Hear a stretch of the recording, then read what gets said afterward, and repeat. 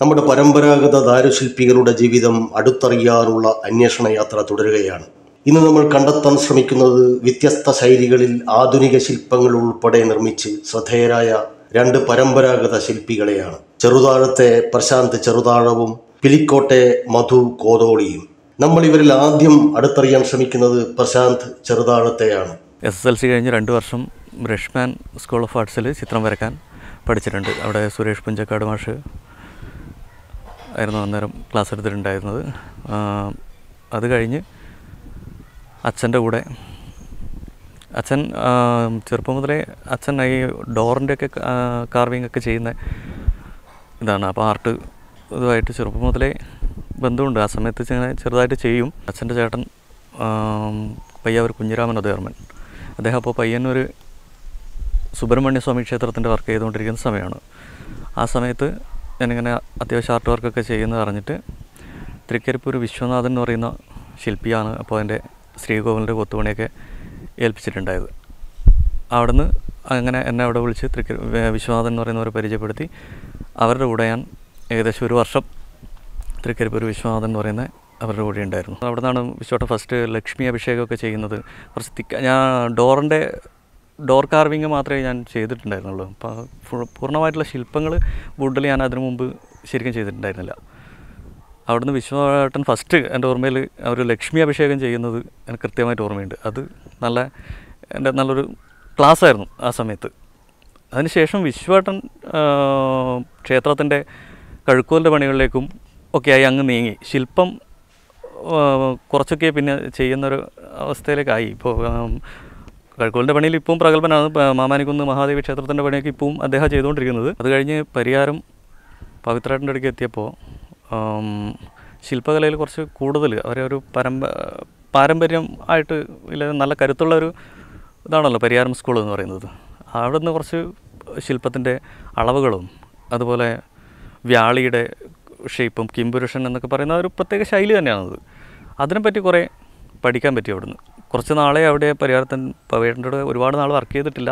പക്ഷേ ആ കുറച്ച് നാളുകൾ കൊണ്ട് എനിക്ക് കിട്ടിയ അതുപോലെ ടൂൾസ് എങ്ങനെ യൂസ് ചെയ്യാം? മരത്തിൽ നമ്മളിങ്ങനെ അണച്ചു മുറിച്ചാക്കി അതിനെ ഇതാക്കുന്നതല്ല. മര മരവുമായിട്ട് ഉളിക്കുള്ള ഒരു ബന്ധമുണ്ട്. അതൊക്കെ മനസ്സിലാകുന്നത് ശരിക്കും അവിടുന്ന് പരിഹാരത്തുന്ന. പെരുന്തൃക്കോവിൽ അമ്പലത്തിൽ കണ്ണൂർ അവിടെ ഒരു വർക്ക് ചെയ്തിട്ടുണ്ട്. ശങ്കരേട്ടന്റെ വർക്കായിരുന്നു അതിൽ വ്യാളിയും ഇതൊക്കെ ആയിട്ട് ചെയ്തിട്ടുണ്ട്. വലിയ കുറച്ച് വലിയ സൈസുള്ളത് പിന്നെ കണ്ണൂർ ഉമാമഹേശ്വര ക്ഷേത്രം. ഉമാമഹേശ്വര ക്ഷേത്രത്തിൽ ഇതുപോലെ കഴുക്കോലിന് ഒരുപാട് കൊത്തുപണികളുണ്ട്. വ്യാളിയും അങ്ങനെയൊക്കെ ആയിട്ടുള്ള സാധനങ്ങൾ അവിടെയും ചെയ്തിട്ടുണ്ട്. ആലക്കോട് അരങ്ങം ക്ഷേത്രം നമസ്കാര മണ്ഡപത്തിന്റെ കൊത്തുപണി ചെയ്തത്. അവിടെ അഷ്ടദിക്പാലകർ അതൊക്കെ ആയിട്ട് ചെയ്തു. പിന്നെ ഹനുമാൻ അമ്പലത്തിന്റെ ശ്രീകോവിലിന്റെ നമ്മുടെ ചെറുതാഴത്ത് രാഘവപുരം ക്ഷേത്രത്തിന്റെ ശ്രീകോവിലിന്റെ പണിയെടുക്കാനുള്ള ഭാഗ്യവും ആ സമയത്ത് ഉണ്ടായതാണ്. എനിക്ക് റിയൽ വർക്ക് അങ്ങനെ റിയൽ ആയിട്ടുള്ള ശില്പങ്ങളില്ലേ അതങ്ങനെ ചെയ്തിട്ട് ശീലമുണ്ടായിരുന്നില്ല അപ്പോൾ ആ സമയത്ത് മട്ടന്നൂർ പഴശ്ശിരാജ സ്മൃതി മന്ദിരത്തിലേക്ക് വെക്കാൻ വേണ്ടി ഒരു പഴശ്ശിരാജയുടെ പൂർണകായ പ്രതിമ നിർമ്മിക്കണം എന്നുള്ളതൊരു പത്രത്തിൽ ഇത് കണ്ടു. അതിന്റെ കൊട്ടേഷൻ വിളിച്ചതായിട്ട്. അപ്പോൾ കുഞ്ഞുമംഗലത്തുള്ള ശില്പി ജീവൻ കുഞ്ഞുമംഗലം കണ്ടിട്ട് അദ്ദേഹം എന്നെ വിളിച്ചു പറഞ്ഞു മരത്തിലാണ് ആ ശില്പം ചെയ്യേണ്ടത്. നീ ഒന്ന് പോയി നോക്ക്. നിനക്ക് ചെയ്യാൻ പറ്റൂലേ? എന്ന് ചോദിച്ചു. അങ്ങനെ മട്ടന്നൂർ ഓഫീസിൽ അവിടെ എത്തി. ആ മരം അപ്പോൾ അവിടെ എടുത്ത് വെച്ചിട്ടുണ്ടായിരുന്നു. ഈട്ടി. ഈട്ടിത്തടി കൊണ്ടുവച്ചിട്ടുണ്ട് പഴശ്ശിയെ ചെയ്യാനുള്ള. മരമൊക്കെ നോക്കി അങ്ങനെ അത് ചെയ്യാമെന്നുള്ള ഘട്ടത്തിലെത്തി. അങ്ങനെ കൊട്ടേഷൻ അവിടെ കൊടുത്ത് തിരിച്ചു വന്നു. തിരിച്ചു വന്നതിന് ശേഷം അവരവിടുന്ന് വിളിച്ചു. വിളിച്ചിട്ട് അപ്പോൾ കുറച്ച് പേര് കൊട്ടേഷൻ അതിൽ കൊടുത്തിട്ടുണ്ടായിരുന്നു. ചെയ്ത വർക്കുകളും കൊണ്ട് അവിടെ ഹാജരാക്കാൻ പറഞ്ഞു. അങ്ങനെ വർക്ക് ചെയ്ത വർക്ക് ഒരു ഗരുഡനെയൊക്കെ ചെയ്തിട്ട് ഉണ്ടായിരുന്നു. ട്രഡീഷണലാണ് അതവിടെ കൊണ്ട് കാണിച്ചു.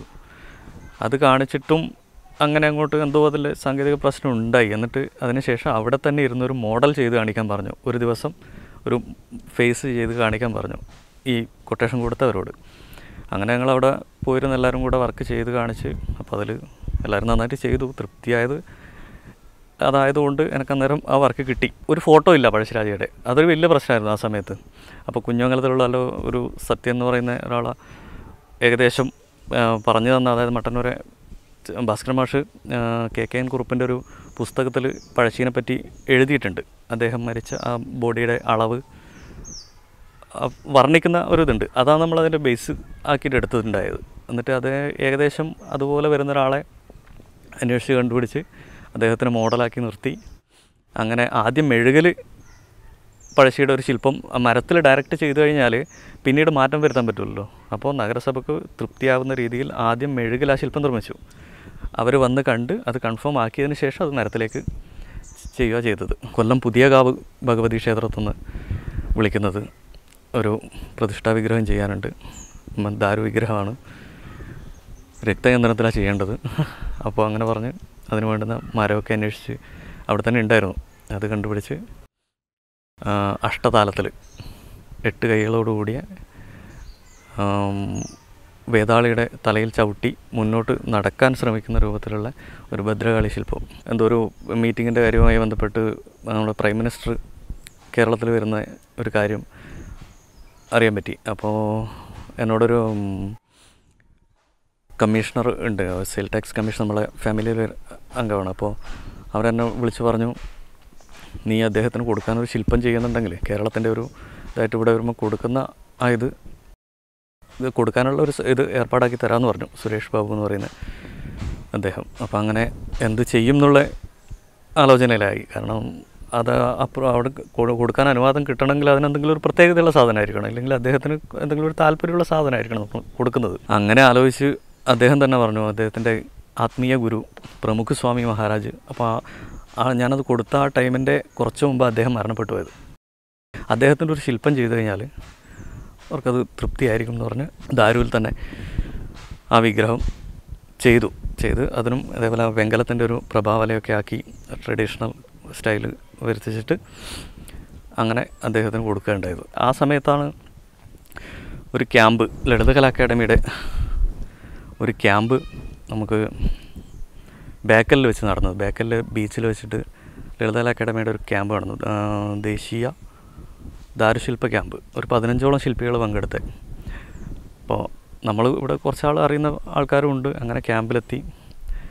ഒരു നിമിത്തം പോലെ അന്ന് നാഷണൽ അവാർഡ് ആ സമയത്ത് ഒരു ശ്രീരാമന്റെ വലിയ ശില്പം ചെയ്ത് നാഷണൽ അവാർഡ് കിട്ടിയ എം രാമമൂർത്തി സാർ ബാംഗ്ലൂരിലുള്ള അദ്ദേഹം ആ ക്യാമ്പിലുണ്ടായിരുന്നു. അങ്ങനെ ആ പത്ത് ദിവസം കൊണ്ട് രാമമൂർത്തി സാറുമായിട്ട് നല്ല ബന്ധമായി. അതിനുശേഷം അദ്ദേഹം എന്നെ ഒന്ന് രണ്ട് ക്യാമ്പുകൾക്ക് ബാംഗ്ലൂർ ആ സൈഡിൽ ക്യാമ്പുകൾക്കൊക്കെ വിളിച്ചു അതിൽ പങ്കെടുത്തു. അവിടുന്ന് എനിക്ക് കിട്ടിയ എക്സ്പീരിയൻസ് ശരിക്കും ട്രഡീഷണൽ വിഗ്രഹത്തിൽ ഒരു വേറെ തന്നെ അനുഭവമാണ്. അതിൽ നിന്നാണ് ശരിക്കും അത് ഇപ്പവും ഞാൻ അദ്ദേഹത്തിന്റെ ശില്പങ്ങളെ സ്റ്റഡി ചെയ്തുകൊണ്ടിരിക്കുന്നതാണ് പഠിച്ചുകൊണ്ടിരിക്കുന്നത് ഇപ്പവും അദ്ദേഹത്തിന്റെ ശില്പങ്ങളാണ്. കാരണം അദ്ദേഹത്തിന്റെ ഒരു ശില്പം എന്ന് പറയുന്നത് തന്നെ വലിയൊരു സ്കൂളാണ് അദ്ദേഹം ട്രഡീഷണൽ വിഗ്രഹങ്ങൾ തന്നെയാണ് ചെയ്യുന്നത്. പക്ഷേ അദ്ദേഹത്തിന്റെ ഒരു ഓരോരാളുടെ കൈയുടെ ഗുണം എന്നൊക്കെ പറയാറില്ലേ നമ്മൾ പിന്നെ ഒറ്റ പാരമ്പര്യം ഒരു സ്കൂൾ എന്ന് പറയുന്ന ഒരു ഒരു റൂട്ട് മുറുകെ പിടിച്ചിട്ട് നടക്കുന്ന ആളല്ല. ഇന്ത്യയിലെ ഇന്ത്യയിലെ നല്ല പുറത്തുള്ള ഇപ്പോൾ ബുദ്ധന്റെയൊക്കെ അതിലൊക്കെ വരുന്ന ആ ശില്പത്തിനൊക്കെ ഒരു ഒഴുകിപ്പോകുന്ന ടൈപ്പ് സാധനങ്ങളുണ്ട്. അതും നമ്മുടെ കർണാടക ഭാരതീയ ശില്പശാസ്ത്രത്തിൽ വരുന്ന അതൊക്കെ മിക്സ് ചെയ്തിട്ടുള്ള ഒരു പ്രത്യേക ശൈലിയാണ് രാമമൂർത്തി സാറിന്റെ ശില്പങ്ങളിൽ സ്വീകരിച്ചിട്ടുള്ളത്. അതാണ് ഇവിടുത്തെ നമ്മുടെ പാരമ്പ ട്രഡീഷണൽ ശില്പങ്ങളും അതുമായിട്ടുള്ള പ്രധാന വ്യത്യാസം ശരിക്കും പറഞ്ഞാൽ ഞാൻ ഞാൻ അങ്ങനെയുള്ളത് അന്വേഷിച്ച് നടക്കുന്നതുകൊണ്ടായിരിക്കും. എനിക്ക് അത് അദ്ദേഹത്തിനെ കണ്ടപ്പോൾ ഒരു ഭയങ്കര തൃപ്തിയാണ്. ഞാൻ ട്രഡീഷണൽ മിക്സ് ചെയ്യുന്ന ഒരു ഇതല്ല. എന്റെ ഞാൻ റിയൽ ആയിട്ടുള്ള ശരീരവും ട്രഡീഷണൽ ഓർണമെന്റ്സും മിക്സ് ചെയ്തിട്ടാണ് ഞാൻ കൂടുതൽ ശില്പം ചെയ്തത്. അപ്പോൾ അതാണ് കുറച്ച് വ്യത്യാസം വരാനുള്ള കാരണം. റിയൽ ആയിട്ടുള്ള അനാട്ടമി സ്റ്റഡി ചെയ്ത ബോഡിയും ട്രഡീഷണൽ ഓർണമെന്റ്സുമാണ് എനിക്ക് അങ്ങനെ ശില്പങ്ങൾ ചെയ്യാനാണ് താല്പര്യം. അത് അതുമായിട്ട് ബന്ധമുള്ള അതിന്റെ നമ്മുടെ കാട്ടും ഒരുപാട് മുകളിലുള്ളൊരു കൈ പരിചയപ്പെടാൻ പറ്റി അദ്ദേഹത്തിന്റെ കൂടെ കുറച്ച് വർക്കുകളും ചെയ്യാൻ പറ്റി എന്നുള്ളത് വലിയൊരു കാര്യമാണ്. ഈ അടുത്ത് അണ്ടല്ലൂർ കാവൽ തലശ്ശേരി അണ്ടല്ലൂർ കാവലെ അവിടുന്ന് നമ്മുടെ വേഴാപ്പറമ്പ് തിരുമേനി അദ്ദേഹം ഒരു ദിവസം ഫോൺ വിളിച്ചു തന്നെ വിളിച്ചിട്ട് പറഞ്ഞു ഇവിടെ അണ്ടല്ലൂർ കാവിലെ ഒരു ഹനുമാന്റെ പ്രതിഷ്ഠാ വിഗ്രഹമുണ്ട്. അപ്പോൾ അത് ശില്പം വെങ്കലം ശില്പം ചെയ്യാൻ ഒരു ശില്പിയെ കണ്ടിട്ടുണ്ട്. എറണാകുളത്തുള്ള ഒരു ശില്പിയാണ് സ്വാമിനാഥൻ എന്ന പേര്. അപ്പോൾ അവിടെ വെള്ളി രണ്ട് പീഠത്തിന്റെ പ്രതിഷ്ഠയുണ്ട്. അതിന് വെള്ളി പൊതിയും വേണം. ഈ ഹനുമാന്റെ വിഗ്രഹവും ചെയ്യേണ്ടതുണ്ട്. അപ്പോൾ എല്ലാം ആ സമയത്തിനുള്ളിൽ സ്വാമിനാഥൻ എന്ന് പറയുന്ന ശില്പിക്ക് തീർക്കാൻ പറ്റില്ല. അങ്ങനെ ഒരു പ്രശ്നം വന്നതുകൊണ്ട് എന്നെ വിളിച്ചിട്ട് ഹനുമാന്റെ വിഗ്രഹം നീ ചെയ്യണം. ഇങ്ങനെ മെഴുകിൽ ശില്പം ചെയ്തു കൊടുത്താൽ എന്ന പോലെ എന്നിട്ട് അവർ വെങ്കലം ശില്പത്തിന്റെ പണിയെടുക്കുന്നവരെ കൊണ്ട് വാർപ്പിക്കാമെന്ന് പറഞ്ഞു. അങ്ങനെ ഹനുമാന്റെ വിഗ്രഹം അവിടെ പോയി അളവെടുത്ത് അത് വരച്ച് ഞാനിവിടുന്ന് മെഴുകിലെ ശില്പം ഉണ്ടാക്കി. അപ്പോൾ ഒന്ന് അതിനുശേഷം അണ്ടല്ലൂർ കാവിലെ ആൾക്കാരും സ്വാമിനാഥൻ ശില്പിയും എല്ലാം വന്ന് കൺഫേം ചെയ്ത് ഓക്കെ ആക്കിയതിന് ശേഷം കുഞ്ഞുമംഗലത്തുള്ള ജീവാട്ടനെയും ജീവൻ കുഞ്ഞുമംഗലം വെങ്കല ശില്പിയാണ്. അദ്ദേഹത്തിന്റെ കൂടെയാണ് ഞാൻ മെഴുകിലെ വർക്ക് വെങ്കല ശില്പം പ്രാക്ടീസ് ചെയ്തത് ജീവാട്ടിന്റെ കൂടെയാണ്. അത് പറയാം മെഴുകിലെങ്ങനെ ശില്പം ചെയ്യാന്നുള്ളതിനെ പറ്റിയിട്ടൊക്കെ പറഞ്ഞു തന്നതും ഒക്കെ കുഞ്ഞമംഗലം ജീവേട്ടനാണ് ജീവേട്ടനെ വാർക്കാനുള്ളത് ഏൽപ്പിച്ചു. അണ്ടല്ലൂർ കാവിൽ വെച്ച് ഇവിടുന്ന് നമ്മൾ കരുവൊക്കെ ആക്കി അതിനെ അവിടെ എത്തിച്ച് മെഴുകുരുക്കി എടുത്ത് പഞ്ചലോഹ വിഗ്രഹമാണത്. രണ്ട് കിലോ സ്വർണവും അഞ്ച് കിലോ വെള്ളിയൊക്കെ ചേർത്ത് അങ്ങനെ അവിടുന്ന് ക്ഷേത്രത്തിൽ വെച്ച് ആ വിഗ്രഹം വാർത്ത് വൃത്തിയായി എടുത്തു വെച്ചിട്ടുണ്ട്. അതൊരു ആദ്യത്തെ എന്റെ വെങ്കല ലോഹത്തിലുള്ള ആദ്യത്തെ വർക്കാണ് ഞാൻ ചെയ്തത്. ചെയ്തുകൊണ്ടിരിക്കുന്ന വർക്ക് മാമാനിക്കുന്ന് മഹാദേവി ക്ഷേത്രത്തിലെ പ്രതിഷ്ഠാ വിഗ്രഹങ്ങളാണ്. അതിന്റെ വർക്ക് എന്റെ അടുക്ക എത്താൻ കാരണം നമ്മുടെ എന്റെ ആദ്യം ഞാൻ പണിയെടുത്തു വന്ന തൃക്കരിപ്പൂർ വിശ്വനാഥൻ. അദ്ദേഹമാണ് അതിന്റെ കഴുക്കോലിന്റെയൊക്കെ പണി ചെയ്തുകൊണ്ടിരിക്കുന്നത് ഇപ്പം. ആ സമയത്ത് അവിടെ അദ്ദേഹത്തിന് ഒരുപാട് വർക്കിന്റെ തിരക്കുകൾ ഒക്കെ ഉണ്ട്. അപ്പോൾ വിഗ്രഹം ചെയ്യാൻ വേണ്ടിയിട്ട് ഫസ്റ്റ് എന്റെ പേര് നിർദ്ദേശിച്ചത് വിശ്വാടനാണ് അവിടെ. അതിനുശേഷം കുറേ അങ്ങനെ ഒരാളെ മാത്രം നോക്കിയിട്ട് എടുക്കാൻ പറ്റുന്ന പണിയല്ലല്ലോ. അതിനുശേഷം കുറച്ച് പേരെ ശില്പികളെ പേര് വെച്ചിട്ട് പേരും നക്ഷത്രമൊക്കെ വെച്ച് രാശി വെച്ച് നോക്കി. അപ്പോൾ രാശിയിൽ തെളിഞ്ഞത് എന്തോ എന്റെ പേരായത് കൊണ്ട് അങ്ങനെ ആ വർക്ക് ചെയ്യാൻ വലിയ ഭാഗ്യം കിട്ടി. ഇപ്പം നിലവിൽ അവിടെയുള്ള വിഗ്രഹം കരിങ്കല്ലിന്റെ സപ്തമാതൃകൾ വീരഭദ്രൻ ഗണപതിയാണ്. അവിടെ ദേവിക്ക് വിഗ്രഹമില്ല. പീഠം മാത്രം പ്രധാന വിഗ്രഹം പീഠം മാത്രം അപ്പോൾ ചുറ്റിലും ശ്രീകോവിന്റെ ഉള്ളിൽ വരുന്നതാണ് ഈ അഷ്ടമാതൃക്കൾ വീരഭദ്രൻ ഗണപതി. സപ്തമാതൃക്കൾ ഇപ്പോൾ ഇല്ലത്. അപ്പോൾ അതിൽ പ്രശ്നത്തിൽ പറഞ്ഞു അവിടെ അഷ്ടമാതൃക്കളാണ് മാത്രമല്ല ദാരു വിഗ്രഹ വേണ്ടതെന്ന് പറഞ്ഞു. അങ്ങനെ ദാരുവിൽ ചെയ്യാൻ തീരുമാനിച്ച് ഇപ്പോൾ അഷ്ടമാതൃക്കൾ ആക്കി വീരഭദ്രനെയും ഗണപതിയുടെയും ശില്പങ്ങൾ പത്ത് വിഗ്രഹങ്ങളാണ് അത് അവിടുന്ന് ക്ഷേത്രത്തിന്റെ ആ മുകളിൽ നിന്ന് തന്നെ ചെയ്യണമെന്ന് രാശിയിൽ കണ്ടതുകൊണ്ട് ശ്രീകോവിലിന്റെ നേരെ പുറകിലൊരു പണിശാലയാക്കി അതിന്റെ ഉള്ളിലാണ് ശില്പത്തിന്റെ വർക്ക് നടന്നുകൊണ്ടിരിക്കുന്നത്. അച്ഛൻ പിൽക്കൂട്ടുകാരനാണ്. അമ്മ കെ വി തമ്പായി പരിയാരത്താണ്. പരിയാരം ശില്പി കുടുംബത്തിൽ നിന്നാണ് അമ്മ പിൽക്കോട്ടേക്ക് വന്നത്. അതുകൊണ്ട് തന്നെ ഏറ്റവും വലിയ ഭാഗ്യം എന്ന് പറയുന്നത് ആ രണ്ട് സംസ്കാരവുമായിട്ട് യോജിപ്പിച്ച് പോകാൻ എനിക്ക് കഴിഞ്ഞു എന്നുള്ളതാണ്. പിലിക്കോടിന്റെ ശൈലിയും പരിയാരത്തിന്റെ ശൈലിയും ഒത്തുകൂടിയിട്ട് ഒരു സമ്മിശ്രമായ ശൈലിയിൽ ചെയ്യാനുള്ള ഒരു പ്രത്യേക ഒരു കഴിവെന്ന് പറയാൻ കഴിയില്ല. ആ ഒരു സംഭവം നമുക്ക് കിട്ടിയിട്ടുണ്ട്. അച്ഛന്റെ അച്ഛന്റെ പേര് കണ്ണൻ കേരളവർമ്മൻ. അതായത് ആചാരപ്പേരാണ്. കേരളവർമ്മൻ എന്നുള്ള ആചാരപ്പേരാണ്. അപ്പോൾ അങ്ങനെ ഈ മുത്തച്ഛൻ പണിയെടുക്കുന്നത് കണ്ടുകൊണ്ടാണ് രാവിലെ എപ്പോഴും എഴുന്നേൽക്കാറ് ചെറുപ്പത്തിൽ. അപ്പോൾ ചെറുപ്പകാലങ്ങളിലെ കൊട്ടുവടിയുടെ ശബ്ദം എപ്പോഴും വീട്ടിൽ നിലക്കാതെ ഉണ്ടാകും. അപ്പോൾ ആ ശബ്ദം കേട്ടുകൊണ്ടാണ് നമ്മൾ എഴുന്നേൽക്കുന്നത്. പുറത്തേക്ക് ഇറങ്ങുമ്പോൾ തന്നെ പിന്നെ ധാരുവിൽ പല രൂപങ്ങളും പകുതിയും മുക്കാൽ ഭാഗമൊക്കെ ആയിട്ടുണ്ടാവും. അത് കണ്ടുകൊണ്ടാണ് വളർന്നത്. പാരമ്പര്യമായി കിട്ടിയതാണ്. പാരമ്പര്യം എന്ന് പറയുമ്പോൾ ഒരിക്കലും ഒരു ഗുരുമുഖത്ത് നിന്ന് അങ്ങോട്ട് പഠിക്കാനോ അല്ലെങ്കിൽ സർട്ടിഫിക്കറ്റിന് വേണ്ടിയിട്ട് ഫൈനാൻസിൽ പഠിച്ചിട്ടോ ഒരു ഇതില്ല. ഇത് പാരമ്പര്യമായിട്ട് കിട്ടിയ കഴിവാണ്. അപ്പോൾ അച്ഛൻ അച്ഛൻ ചെയ്യുന്ന വർക്കുകൾ കണ്ട് എന്തായാലും രക്തത്തിൽ അതുണ്ടാവുമല്ലോ അപ്പോൾ ആ ഒരു കഴിവ് ഡെവലപ്പ് ചെയ്താൽ ഇവരെ കൂടി സഹായിച്ചു. അപ്പോൾ ഇത് നിരന്തരം കാണുകയും അത് പഠിക്കുകയും ചെയ്തുകൊണ്ട് അതിൽ അതിലേക്ക് എന്റെ മനസ്സ് പോവുകയും പിന്നെ പഠിക്കുമ്പോൾ തന്നെ അച്ഛനെയും അവരെ സഹായിക്കാൻ വേണ്ടി അച്ഛന്റെ കൂടെ ക്ഷേത്രങ്ങൾക്ക് നിരവധി ക്ഷേത്രങ്ങളെല്ലാം പണിയെടുക്കാൻ ഭാഗ്യം ഉണ്ടായിട്ടുണ്ട്. അച്ഛൻ മട്ടപ്പണി ചെയ്യും. ക്ഷേത്രത്തിന്റെ മട്ടപ്പണിയും കൊത്തുപണിയും ചെയ്തുകൊണ്ടിരിക്കുന്ന സമയം ഈ മട്ടപ്പണിയിലേക്ക് എന്നെ കൂടി ക്ഷണിച്ചിരുന്നു. അപ്പോൾ പഠിക്കാൻ വേണ്ടിയിട്ടുള്ള ആഗ്രഹവും അത് പഠിക്കണം അത് കൂടെ കൊത്തുപണിയും പഠിക്കണം എന്നുള്ള ആഗ്രഹമുണ്ട്. അത് പഠിച്ചു വരുമ്പോഴായിരിക്കും ചിലപ്പോൾ കൊത്തുപണിയിലേക്ക് പോകേണ്ടി വരിക.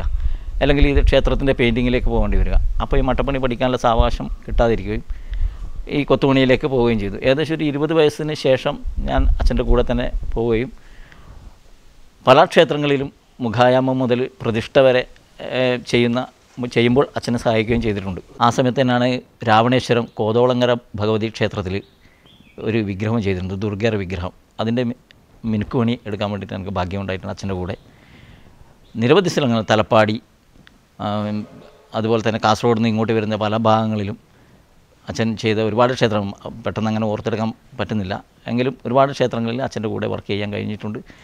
പിന്നെ അതിനുശേഷം അച്ഛൻ മരിച്ചിട്ട് ഏകദേശം പതിനാല് വർഷമായി. അച്ഛൻ മരിച്ചതിന് ശേഷം അച്ഛൻ ഏറ്റെടുത്ത കുറച്ച് പണിയുണ്ടായിരുന്നു. അത് അച്ഛന്റെ വാക്കുണ്ടായിരുന്നു ധൈര്യസമേതം എടുക്കണം എന്നുള്ളത്. അത് തന്നെ. അങ്ങനെ എടുക്കാൻ കഴിഞ്ഞു. അനിയന്മാരൊക്കെ കൂടെ ഉണ്ടായിരുന്നു. പിന്നെ എന്റെ അനുജൻ വേണു. അവൻ ഡിസൈൻ വർക്കിൽ വളരെ അഗ്രഹണിയായിരുന്നു ഡിസൈൻ ഏത് തരത്തിലുള്ള ഡിസൈൻ ഡോർ ഡിസൈൻ അതുപോലെ ഡിസൈൻ വർക്കുകളെല്ലാം വളരെ ഭംഗിയായിട്ട് ചെയ്യും. അതുപോലെ തന്നെ അവന്റെ അനിയൻ നരേന്ദ്രൻ. നരേന്ദ്രൻ എന്ന് പറഞ്ഞാൽ ഈ ഇപ്പം എന്നെ സംബന്ധിച്ചിടത്തോളം പറയുകയാണെങ്കിൽ നല്ലൊരു നല്ലൊരു ശില്പിയാണ് നരേന്ദ്രൻ. എന്റെ അനിയനായതുകൊണ്ട് പറയുകയല്ല. ഒരു അയ്യപ്പ ക്ഷേത്രം അതുപോലെ തന്നെ കാഞ്ഞങ്ങാട് മാ മാങ്ങാട് എന്ന് പറഞ്ഞ സ്ഥലത്ത് ഇപ്പോൾ അടുത്ത ഒരു അയ്യപ്പ വിഗ്രഹം ചെയ്തു കൊടുത്തിട്ടുണ്ട്.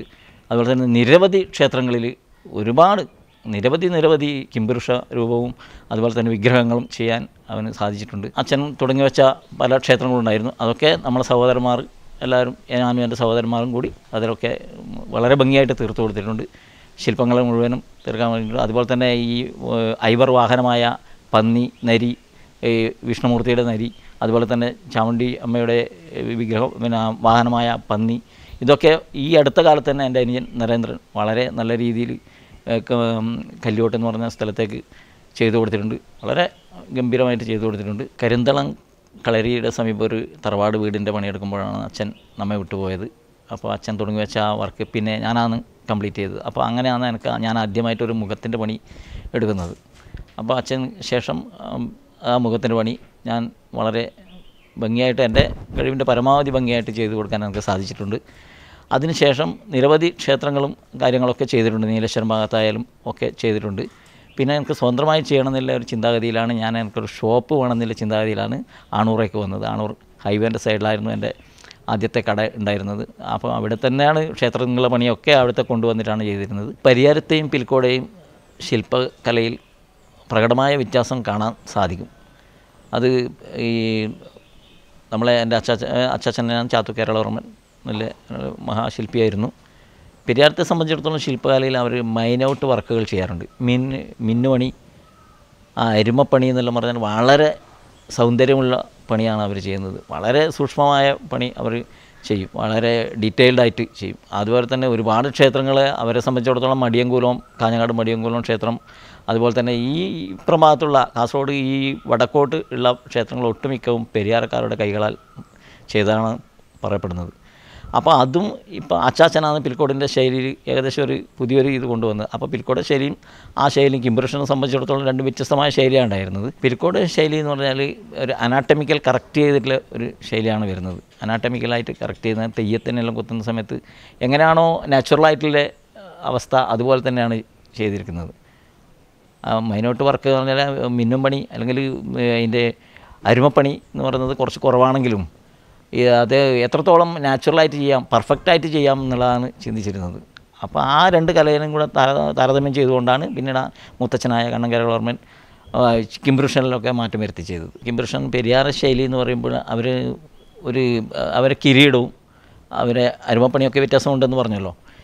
ഇവിടെ കിരീടം എന്ന് പറയുന്നത് റൗണ്ട് തരത്തിലാണ് ചെയ്തിരിക്കുന്നത്. അത് പിന്നെ കിംപുരുഷന്റെ ശാസ്ത്രപ്രകാരം വരുന്ന രീതിയിൽ ഒന്നുകിൽ പാമ്പ് മുകളിലായിട്ട് വരും കിരീടത്തിന് ചുറ്റിയിട്ട് വരും. അതൊക്കെ അതിന്റെ ലക്ഷണപ്രകാരമുള്ള കാര്യങ്ങളൊക്കെ ഒന്ന് തന്നെയാണ്. പക്ഷേ വർക്കിന്റെ ചെറിയ വ്യത്യാസം ഉണ്ടെന്ന് മാത്രമേ ഉള്ളൂ. അരുമപ്പണി എന്ന് പറയുമ്പോൾ അവർ ഒരുപാട് കിരീടത്തിൽ ഒരുപാട് അലങ്കാരപ്പണികൾ കൂട്ടും. നമ്മളത് പെയിന്റിങ്ങും കൂടെ ചെയ്യുന്ന ഒരു വസ്തു ആയതുകൊണ്ട് അതിന്റെ അലങ്കാരപ്പണിയിൽ പെയിന്റിങ്ങും കൂടെ മുൻകൂട്ടി കണ്ടുകൊണ്ട് അതിനെ കുറച്ച് കുറച്ച് കൊണ്ടുവന്ന് അതിന്റെ കൃത്യമായി ചെയ്യും. ഈ പാരമ്പര്യ കലാരൂപത്തിൽ ഏറ്റവും ശ്രദ്ധേയമായ കലാരൂപമാണ് ക്ഷേത്ര കലാരൂപങ്ങൾ. ആ ക്ഷേത്ര കലാരൂപങ്ങളിൽ തന്നെ ഞാൻ നേരത്തെ സൂചിപ്പിച്ചതുപോലെ പരിയാര ശൈലിയും പിൽക്കോട് ശൈലിയും ഉണ്ട് അപ്പോൾ ഈ രണ്ട് ശൈലിയും കൂടെ നമ്മളിലേക്ക് എത്തുന്നത് ഒരു ഇതിന്റെ പേരിലാണ്. അപ്പോൾ അങ്ങനെ ഈ രണ്ട് ശില്പങ്ങളുടെയും പരിയാര ശൈലിയും നമ്മുടെ പിൽക്കോട് ശൈലിയും കൂടെ സമ്മേളിച്ചു കൊണ്ടുള്ള അതിൽ നിന്ന് അലങ്കാരപ്പണികളും ഇതിന്റെ സുന്ദരമായ പല ഭാഗങ്ങളും നമ്മൾ എടുത്ത് ഈ കിംപുരുഷ നിലയിൽ ഏകീകരിക്കുകയും അതുപോലെ തന്നെ മറ്റ് പല ശില്പങ്ങളിലേക്കും അത് കൊണ്ടുവരികയും ചെയ്തു. ആ, ശില്പങ്ങളിലെ പാവ ചെയ്യുമ്പോഴാണ് പാവ എന്ന് പറഞ്ഞാൽ ക്ഷേത്രങ്ങളിൽ മുഖായാമത്തിൽ കൊത്തിവെക്കുന്ന രൂപങ്ങളെയാണ് പാവകൾ എന്ന് പറയുന്നത്. അപ്പോൾ അതുപോലും അതിന്റെ മകരത്തലയായാലും വ്യാളിയായാലും വളബന്ധമായാലും എന്തായാലും അതിന്റെ ഒരു കൗതുകകരമായ കാര്യങ്ങൾ അതിന്റെ സൗന്ദര്യപരമായ കാര്യങ്ങൾ അതിന്റെ ശാസ്ത്രീയപരമായ കാര്യങ്ങൾ രണ്ടിൽ നിന്നും എടുത്തിട്ട് മേളിച്ചുകൊണ്ടാണ് നമ്മൾ ചെയ്യുന്നത്. ഞാൻ അടുത്ത കാലത്ത് ചെയ്തൊരു വർക്കാണ് അമ്മയും കുഞ്ഞും. അത് ഒരു ട്രഡീഷണൽ അല്ല. എന്നാലും ഒരു ആധുനികതയും അതിൽ കൂട്ടിച്ചേർത്തിട്ട് ഒരു അതൊരു നാച്ചുറലിൽ നിന്നും വ്യത്യസ്തമായിട്ട്. എന്നാൽ അമ്മയും കുഞ്ഞും നാച്ചുറലാണ് അത്. അതൊരു ബിംബകൽപ്പനയിൽ കൂടി ചെയ്തതാണ്. അപ്പോൾ അത് കാണാൻ വേണ്ടിയിട്ടുള്ള സൗന്ദര്യവും ആധുനികതയും കൂടി കൂടി കലർത്തിയിട്ട് ഒരു ഒരു മരത്തിന്റെ ഒരു രണ്ട് മൂന്നടി മരത്തിലേക്ക് ഞാനത് ചെയ്തത്. അമ്മയും കുഞ്ഞാനും സന്നിവേശിപ്പിക്കുകയാണ് ചെയ്തത്. കുട്ടിയെ ഒരു പൂവിന്റെ ദളത്തിൽ ആണ് കുട്ടിയുടെ മുഖം ഒത്തിരിക്കുന്നത്. അത് കുട്ടികളെ സ്വാഭാവികമായിട്ടും കവികളോട് ഉപയോഗിക്കുന്ന പൂക്കളോടാണ്. സ്വാഭാവികമായിട്ട് ഉപയോഗിക്കുന്ന ഒരു ഇതാണ്. വാക്കുകൾ കൂട്ടിച്ചൊല്ലാൻ വയ്യാത്ത കിടാങ്ങളെ ദീർഘദർശനം ചെയ്യും ദൈവജ്ഞരല്ലോ. നിങ്ങളെന്ന് പറയുന്ന പോലെ കുട്ടികളെ ദൈവമായി കാണുന്നതോടുകൂടി സൗന്ദര്യമുള്ള പൂക്കളും മൃദുവായ പൂക്കളും കൂടി അത് ഉപയോഗിച്ചുകൊണ്ടാണ് ഞാൻ ആ കുട്ടിയെ ഒരു പൂവിന്റെ ഉള്ളിൽ ആ ഹെഡ് ചെയ്തിരിക്കുന്നത്. അതുപോലെ തന്നെ അമ്മ അമ്മയിലെ മുഖത്ത് ഞാൻ പരമാവധി അതിന്റെ സ്നേഹഭാവം കൊണ്ടുവരാൻ ശ്രമിച്ചിട്ടുണ്ട്. അതിന്റെ പിൻഭാഗത്ത് മാനാണ്. മാൻപേടയെ സംബന്ധിച്ചിടത്തോളം നമുക്കറിയാൻ പറ്റുന്ന കാര്യമാണ്. വളരെ സ്നേഹമുള്ള ഒരു മൃഗമാണ് മാൻ. സ്വാഭാവികമായിട്ടും പല ആശ്രമങ്ങളിലൊക്കെ കണ്ടുവരുന്ന മൃഗം സൗന്ദര്യമുള്ള മൃഗം ഒക്കെ ഉപയോഗിക്കുന്ന ഒരു ഇതാണ്. അപ്പോൾ ആ മാൻ അതുപോലെ തന്നെ ശംഖ്. ശംഖ് അത് ഒരു ശംഖ്. ശംഖ് എന്ന് പറയുമ്പോൾ ശബ്ദത്തിന്റെ നാദത്തിന്റെ ഒരു ഇത് സിമ്പിളായിട്ടാണ് ഞാനതിൽ ശംഖ് ഉപയോഗിച്ചിരിക്കുന്നത്. പിന്നെ വീണ. എന്തായാലും ശ്രുതി ചേർക്കുവാനുള്ള എല്ലാ കാര്യത്തിലും നമുക്ക് ജീവിതത്തിലൊക്കെ ശ്രുതി ചേർന്നിട്ടില്ലെങ്കിൽ എല്ലാം അവതാളത്തിലാവുന്ന ഒരു കാലഘട്ടമാണ്. ഇപ്പോൾ ശ്രുതി ചേരുക സംഗീതത്തിൽ മാത്രമല്ല നമ്മുടെ ജീവിതത്തിലും എന്തിലായാലും ആ ശ്രുതി നമ്മളിലുണ്ടെങ്കിൽ താളബോധം നമുക്കുണ്ടെങ്കിൽ അല്ലെങ്കിൽ നമ്മുടെ ജീവിതത്തിലായാലും ആ ഒരു ബോധത്തോടു കൂടി ജീവിക്കുന്നുണ്ടെങ്കിൽ നമ്മൾ സൃഷ്ടിയിലായാലും ആ ഒരു താളത്തിന്റെ ആ ഒരു ഭംഗിയുടെ ആ താളെന്ന് ഞാൻ ഉദ്ദേശിക്കുന്നത് ഇവിടെ നമുക്ക് ലക്ഷണമൊത്ത കണക്ക് പ്രകാരം ചെയ്യാനുള്ള ആ ഒരു ശില്പം. ഒരു ശില്പത്തെ സംബന്ധിച്ചിടത്തോളം അത് ചെയ്ത് കഴിഞ്ഞാൽ ആ തിരക്കേടില്ല. അതിന്റെ അളവൊക്കെ കറക്റ്റാണ്. അതിന്റെ പിന്നെ ഭാഷ അതിന്റെ ഭാവം നല്ലതാണ് എന്ന് പറയുമ്പോഴാണ് ആ ശില്പം മനോഹരമാകുന്നതാണ് എനിക്ക് തോന്നുന്നത്. അപ്പോൾ അങ്ങനെ ചെയ്യാൻ വേണ്ടി ശ്രമിച്ചതാണ് ഈ അമ്മയും കുഞ്ഞും. അതിൽ തന്നെ നൂതന സങ്കല്പങ്ങൾ ഞാൻ ചേർക്കുകയും ചെയ്തു. ഇതിന് ഇത് ഇതിന് പ്രചോദനമായത് എന്ന് പറഞ്ഞാൽ ഒന്ന് രണ്ട് ക്യാമ്പുകൾ കാണുവാനും ഒരു ക്യാമ്പിൽ എനിക്ക് പങ്കെടുക്കുവാനും കഴിഞ്ഞിട്ടുണ്ട്. ലളിതകല അക്കാദമീന്റെ ഒരു ക്യാമ്പിൽ പങ്കെടുക്കാൻ കഴിഞ്ഞിട്ട് തളിപ്പറമ്പ് ശ്രീകണ്ഠാപുരത്ത് വെച്ച് നടന്ന ഒരു പത്ത് ദശദിന ക്യാമ്പിൽ പങ്കെടുക്കാൻ കഴിഞ്ഞിട്ട് അതിൽ അതിൽ രണ്ട് പേരെയാണ് ഈ ട്രഡീഷണലായിട്ട് ക്ഷണിച്ചത്. പാരമ്പ പാരമ്പര്യമായിട്ട് ക്ഷണിച്ചത് എന്നെയും വേറൊരു എന്റെ സുഹൃത്തിനെയാണ്. സുഹൃത്ത് പ്രേംകുമാർ കുഞ്ഞിമംഗലം. അപ്പോൾ നമ്മൾ രണ്ടുപേരാണ് പോയത്. അപ്പോൾ ഞാൻ അവിടെ ചെയ്തത് ദേവീ രൂപമാണ്. ദേവീ രൂപമാണ് ചെയ്തത്. സിംഹപ്പുറത്തിരിക്കുന്ന ദേവീ രൂപം. ബാക്കിയൊക്കെ ഈ പുതിയ രൂപങ്ങളും ആ ശില്പങ്ങളോട് ബന്ധപ്പെട്ടിട്ടാണ് ഉണ്ടായത്. അന്ന് ഇവരെ ഒരു ഒരുപാട് കലാകാരന്മാരെ കാണുവാനും അവരുമായിട്ട് സൗഹൃദം പങ്കിടുവാനും അവരുടെ രീതി പഠിക്കുവാനും സാധിച്ചിട്ടുണ്ട്. അപ്പോൾ ഈ കലയും ഈ പാരമ്പര്യവും മറ്റ് ഇപ്പോൾ ആനുകാലിക പ്രസക്തിയുള്ള രീതിയിലുള്ള കലയും തമ്മിൽ താരതമ്യം ചെയ്യുവാനും അത് അതിൽ നിന്ന് മനസ്സിലാക്കുവാനും സാധിച്ചിട്ടുണ്ട്. ബേക്കൽ ബീച്ചിൽ നടന്ന ലളിതകല അക്കാദമി ക്യാമ്പിൽ അത് കാണാൻ പോയപ്പോൾ എന്റെ അനിയൻ പങ്കെടുത്തിരുന്നു. അനുജൻ ചെയ്ത വർക്ക് എന്ന് പറഞ്ഞാൽ വസുദേവൻ കൃഷ്ണനും. ഒറ്റ മരത്തിൽ രണ്ട് ശില്പങ്ങൾ ഒന്നിച്ച് ചേർത്താണ് ചെയ്തത്. അപ്പോൾ അനുജൻ അവിടെ ചെയ്യുന്നതുകൊണ്ട് പത്ത് ദിവസവും ഞാൻ പോയിട്ടുണ്ടായിരുന്നു. അങ്ങനെ പോകുമ്പോൾ എല്ലാ ശില്പങ്ങളും നടന്ന് കാണുന്ന സമയത്ത് തികച്ചും ഒരു അത്ഭുതപരമായ ഒരു കാഴ്ച എനിക്ക് കാണാൻ കഴിഞ്ഞു. അത് കൃഷ്ണമൂർത്തി എന്ന് പറയുന്ന മഹാശില്പിയുടെ കരവിരുത് മരങ്ങളിൽ ദിവസം കഴിയും തോറും രൂപപ്പെട്ടു വരുന്ന വ്യത്യസ്തമായ അതിന്റെ പൂർണത വരും തോറും എന്താകും എന്താകും എന്നുള്ള ജിജ്ഞാസയോടുകൂടി ദിവസവും വൈകുന്നേരങ്ങളും ഉച്ച ഉച്ചകളിലും വൈകുന്നേരങ്ങളിലും ബേക്കലത്തേക്ക് പോകുന്നൊരു സ്വഭാവം എനിക്കുണ്ടായിരുന്നു. അപ്പോൾ അത് ഒരു അർദ്ധനാരീശ്വര ശില്പമാണ് അദ്ദേഹം ചെയ്തത്. അതിൽ നിന്നുള്ള പ്രചോദനം കൊണ്ടാണ് എനിക്കൊരു ശിവന്റെ ഹെഡ് ചെയ്താലോ എന്നുള്ളൊരു ചിന്തയിലാണ് ഞാനിപ്പോൾ ഒരു ശിവന്റെ ഹെഡ് ചെയ്തിരിക്കുന്നത്. അപ്പോൾ അത് രൗദ്രഭാവത്തിലാണ് ഞാൻ ചെയ്തത്. അതിന്റെ രുദ്രാക്ഷവും എല്ലാം കെട്ടിയതും കണ്ണിൽ ക്രോധമാണ് ചെയ്തത്. കണ്ണിൽ ക്രോധവും ചുണ്ടിൽ അല്പമാത്ര ചിരിയും മാത്രമാണ് ശിവന്റെ ഒരു ഈല ചെയ്തത്. പിന്നെ ഞാൻ ചെയ്തൊരു വർക്കാണ് നരസിംഹം നരസിംഹാകാരം. ഇത് അച്ചാച്ചൻ ഒരു നരസിംഹം ചെയ്തിട്ടുണ്ടായിരുന്നു. മുത്തച്ഛൻ കണ്ണൻ കേരളവർമ്മൻ മുമ്പ് ചെയ്ത നരസിംഹം. ആ നരസിംഹത്തിന്റെ ഒരു ദേവി വിഗ്രഹമുണ്ട് മഹിഷാസുരമർദ്ദിനി എന്ന് പറയുന്നത്. മഹിഷാസുരമർദ്ദിനീന്റെ നോക്കിയതിന് ശേഷം അച്ഛൻ അതുപോലെ ഒന്ന് വർക്ക് ചെയ്യേണ്ടായി പക്ഷേ ഈ നരസിംഹം എന്നില്ല എന്റെ മനസ്സിൽ തട്ടുകയും അതുപോലെ ഒരു വർക്ക് ചെയ്യണമെന്നുള്ള ആഗ്രഹം കൊണ്ട് ഒരു ജാതിയുടെ തടി കഷ്ണത്തിൽ ഞാൻ ചെയ്ത വർക്കാണ് നരസിംഹം. ഈ നരസിംഹം ആയാലും ശില്പങ്ങളായാലും എന്തായാലും ഈ ദാരുകലയിൽ അതിന്റേതായ കണക്കും കാര്യങ്ങളൊക്കെ ഉണ്ട്. അതൊക്കെ താലവ്യവസ്ഥയിൽ ചെയ്യുന്നതാണ്. അതിന്റെ പ്രമാണം താലമാണ്. താലം പ്രമാണമാക്കിക്കൊണ്ടാണ് എല്ലാം ചെയ്യുന്നത്. മുത്തച്ഛൻ ചെയ്ത വിശ്വകർമ്മദേവന്റെ രൂപം.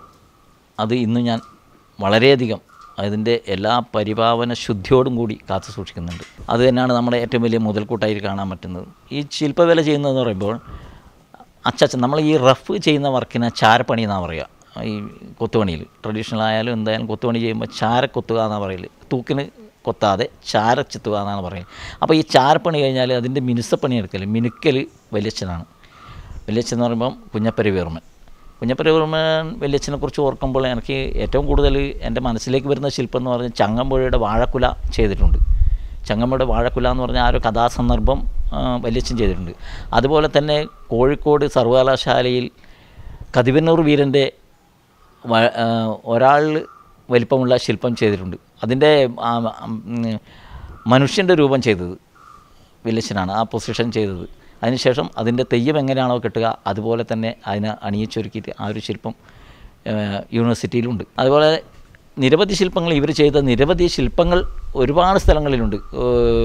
അതുപോലെ ഗരുഡന്റെ വിഗ്രഹങ്ങൾ കഥകൾ ഈ കരക്കക്കാവ് ക്ഷേത്രത്തിലെ വെള്ളെഴുത്ത് കഥകൾ അതുപോലെ തന്നെ വ്യാളിമുഖങ്ങൾ പിന്നെ നമ്മുടെ നാട്ടിൽ തന്നെ പല സ്ഥലങ്ങളിലെയും മുഖങ്ങൾ. പിന്നെ പ്രത്യേകിച്ച് പറയാനുള്ളത് പറഞ്ഞാൽ നമ്മൾ കോതോളി തറവാട്ടുകാരാണ്.